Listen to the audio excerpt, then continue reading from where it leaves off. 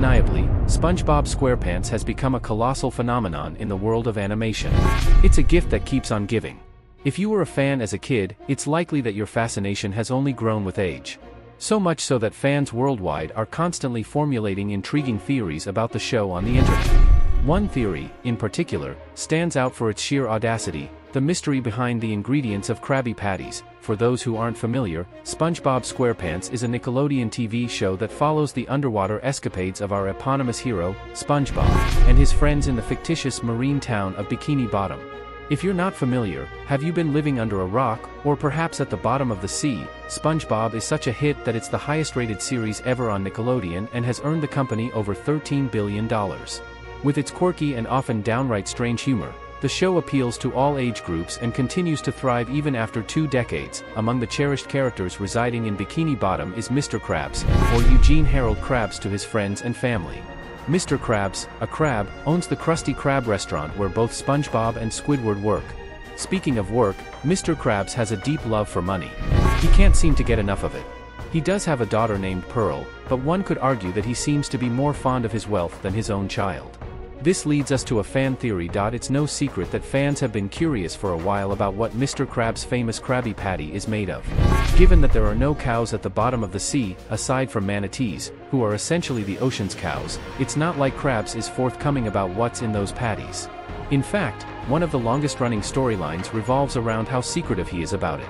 He is constantly trying to keep the recipe under wraps and away from his nemesis, Plankton sure, this could all be explained away because Krabby Patties are incredibly popular and he doesn't want the competition to get their hands on the recipe. But what if there's something more nefarious at play? Some unsettling theories have emerged in an attempt to explain what the enigmatic patties are made of. One of the most popular and eerie theories out there suggests that the Krabby Patties are actually made of crab. While it may seem like a completely ludicrous thing to happen in a children's TV cartoon, there is a plethora of evidence to support this silence of the crabs theory. First off, Mr. Krabs appears to be the only crab in the ocean. Now, we know that we mostly stick to the Bikini Bottom region during the show, but you'd think that there would at least be a sighting of another crustacean down there. And yet, there are hardly any, especially in Bikini Bottom.so, where are all these other crabs? Is it possible that the scheming Mr. Krabs has a long-standing, covertly sinister plan that involves catching and serving crab to all of his loyal patrons in a seriously deranged attempt to get rich? Well, just take a look at the shape of the Krusty Krab. Now, look at a picture of a crab trap. Do you see any similarities between the two? But wait, you say, Mr. Krabs actually does have a mother in Bikini Bottom who also happens to be a crab. True, the fans say. But maybe if Mr. Krabs is actually a secret cannibalistic crab who cooks and eats other crabs, it isn't out of the realm of possibility that he is also pulling a total Norman Bates slash Mrs. Doubtfire situation and impersonating his own mother to maintain appearances. There's even a possibility that he used his own mother in one of his patties. Maybe she was even his first. Yes, this is getting pretty dark. Let's move on now, there is some debate about this theory online because of a recent recipe that was leaked by Nickelodeon for Krabby Patties, probably in an effort to dispel the rumors about one of their most popular characters being a fiendish monster who would turn on his own kind to turn a profit. But that's beside the point, and we have an investigation to conduct.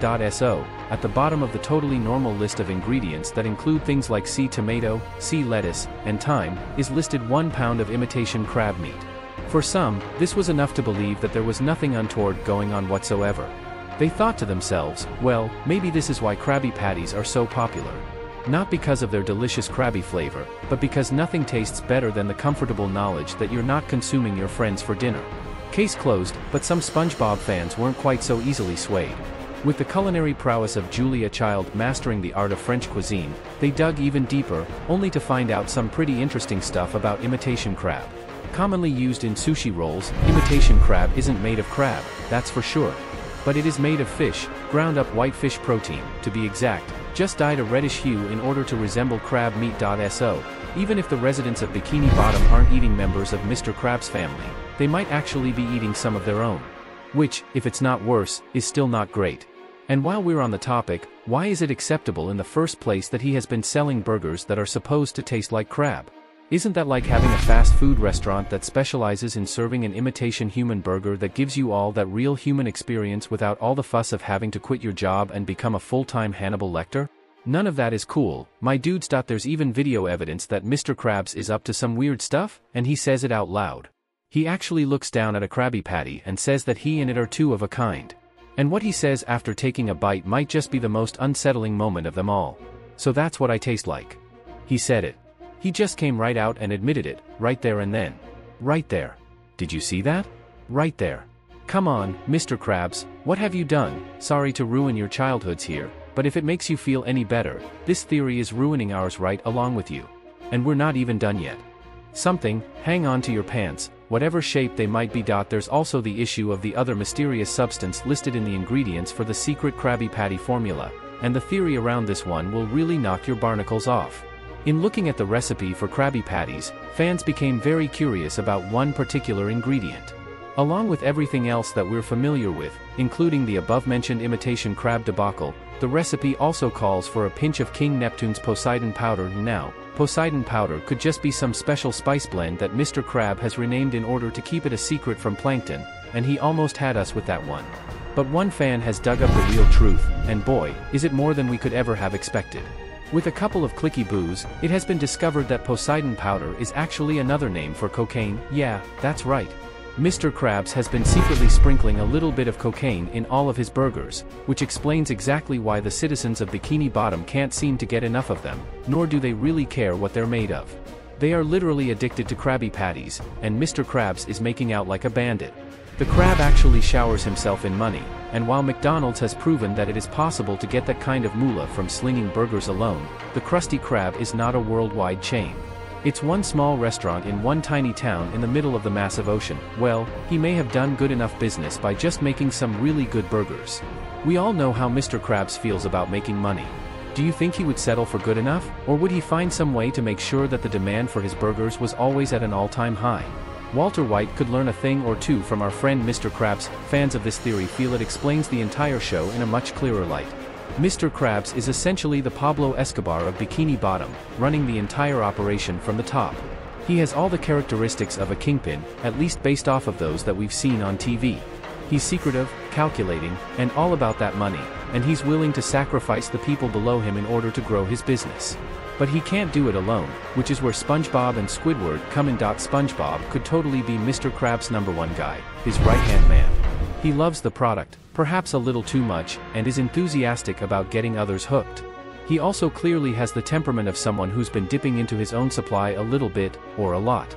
With his high energy and never-ending appetite for Krabby Patties, SpongeBob is always very keen on getting in good with Mr. Krabs, so he'll do just about anything his boss might ask. Poor Squidward is the guy who has been in the game too long and would just love to leave the life behind but just can't break free of it. Maybe he knows too much, so Krabs won't let him go, or maybe Squidward is also too dependent on those Krabby Patties in order to walk away.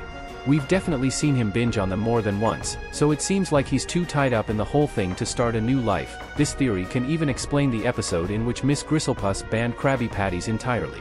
When she found out that they started selling them out of his house in order to meet the demand, she literally called in a police raid with a SWAT team.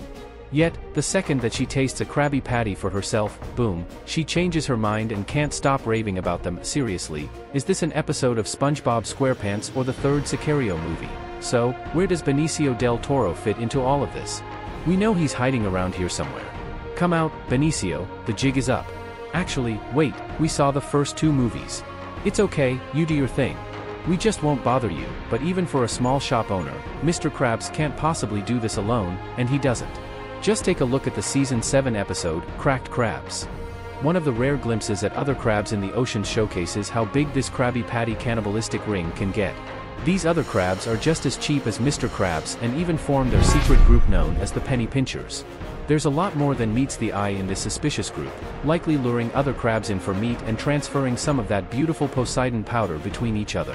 One of the crabs, White T. Wad, is even a grocery store manager and likely a meat supplier for the Krusty Krab. Dot. If you believe that all of this evidence is real, it's almost impossible to deny that there is something else going on behind the scenes in Bikini Bottom. Now, maybe it's all just one or two big misunderstandings, but the fans of these cartoons are seriously impressive detectives and always make sure that their research is terrifyingly thorough. So, what do you think? Is there more to the story than meets the eye? Or is it all just a bit too much? Let us know in the comments, and we hope you had fun watching and remember, sometimes things are more than what they seem, just like the most dedicated SpongeBob fans out there. Keep your eyes peeled. Is anybody else hungry? You could totally go for some imitation crab right about now. Oh man, this theory just about changes everything. What did you think of it? Do you agree with the fans that there is much more going on than meets the eye, or do you think it's all just a bit too much? Let us know in the comments, and we hope you had fun watching.